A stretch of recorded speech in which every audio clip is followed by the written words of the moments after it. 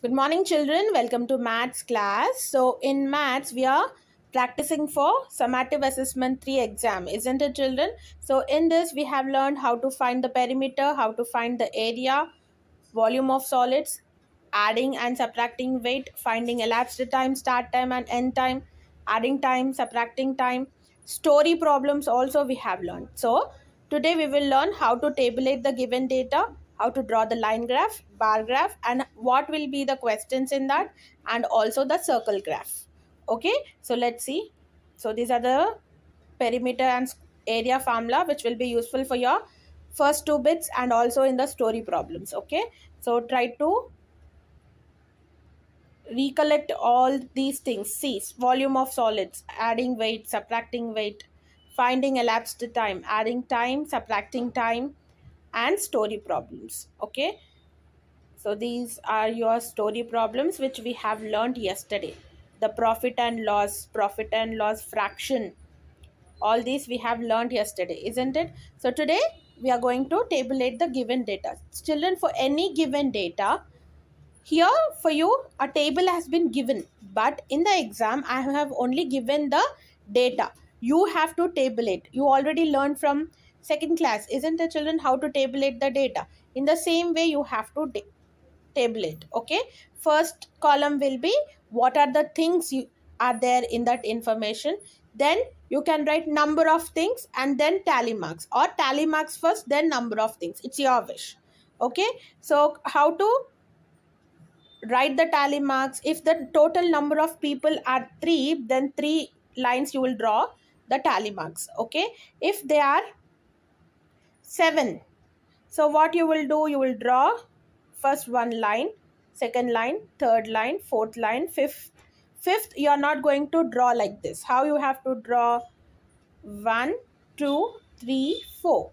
And the fifth line should cross over the fourth line which means it is a bundle of five. Okay? Again six seven. Okay children in that way. Okay? Here it is like a fill in the blanks but in the exam i have given some data where you need to tabulate the information okay?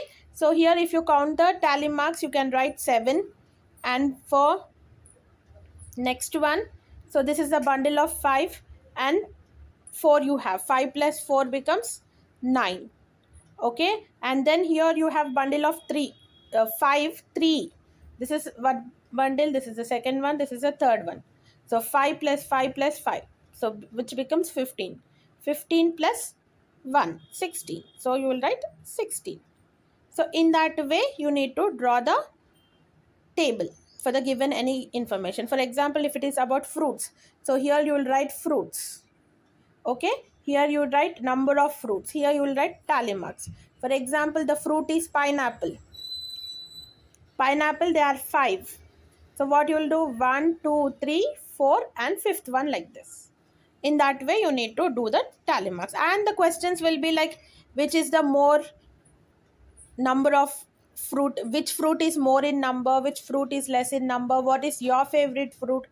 Example i'm giving you okay? In that way any data can come.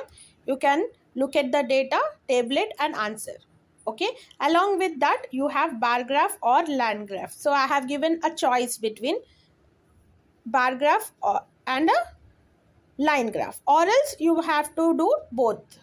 Okay according to the question if i have given do this or that you can do choice any of those. Okay otherwise if you have to do both do bar graph do line graph then you have to do both.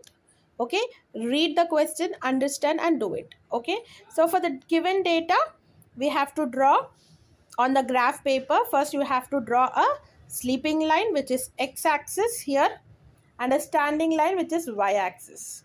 Okay? On the x-axis you will take number of breads or fruits or days. Okay? On y-axis you will take the number. Okay? Number of pets number of fruits number of days whatever it is.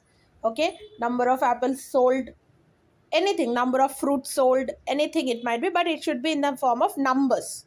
Okay? X-axis what it is about. Okay? So number of pets here.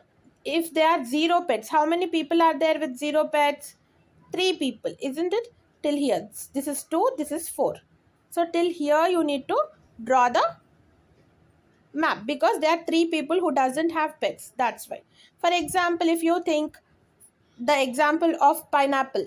So if it is 5 so you will have to draw the bar till 5 like this. So here it should coincide with 5 here it should it should coincide with pineapple. So in that way you need to draw the bar graph all okay? You can write the title also here. What do you mean by title? The name. What are we drawing this graph? What is the topic? What is the data they have given? That is the title. Here it is pets or favorite pets. The example which i gave you fruits or vegetables or whichever information it is given that you need to write okay? Next you have line graph. So here they have given a data look at the table and answer the question. So here it is about the temperature. So monday Tuesday, Wednesday, Thursday, Friday, Saturday, Sunday. So on Monday it is 36 degrees, on Tuesday 34, Wednesday 38, Thursday 40, Friday 39, Saturday 40 degrees and Sunday 41 degrees. For this you need to draw the line graph. How you can draw? First what are these? We have days, isn't it? So that days will be on the x-axis which is a sleeping line. And what is this? It is a temperature. So that will be on your y-axis okay so on monday how much temperature is there 6 degrees so you will on monday at 6 you will place a point okay on tuesday it is 34 so 34 only you are not drawing the lines here children we are only placing the dots full stops okay in bar graph we are drawing the box it's a bar it is a line graph we are only placing the dots in the places for the given information. Then finally, after placing the dots, then you will connect it with a line. That's why it is called as line graph. Okay. And from this also there might be questions like which day was has the highest temperature, which day has the lowest temperature. So what is the difference between the temperature on Monday and Tuesday? In that way also you may get the questions. Looking at the table looking at your graph you can answer it okay now coming to your circle graph circle chart so for any given circle chart you need to answer the questions here you are not drawing the circle chart children circle chart is given to you you have to understand the information which you get in the circle chart. That is if you see the circle here children see here the people who are using car are one fourth of the circle isn't it? And the people who are using bus as a transport it is more than one fourth so here till here only you have one fourth more than one fourth that means the people who are using bus as a transport are more okay and which is less the small one so taxi the people who are using taxi for the transport that is cabs for the transport are very less okay but if you see if you add the transportation by cycle and taxi, it is equal to the transportation of car. The people who are using taxi and cycle, if you combine them, if you add them, it is equal to the people who are using cars. Okay. And if you combined the people using cars, cycle and taxi, it is 1 by 2 of the of the total population. Half of the population are using car cycle and taxi. Yes? And the other half are using bus and they prefer walking and walking is less when compared to the people who are using bus. So in that way you have to get the information from the circle chart and according to the questions what they ask you have to answer. Okay children?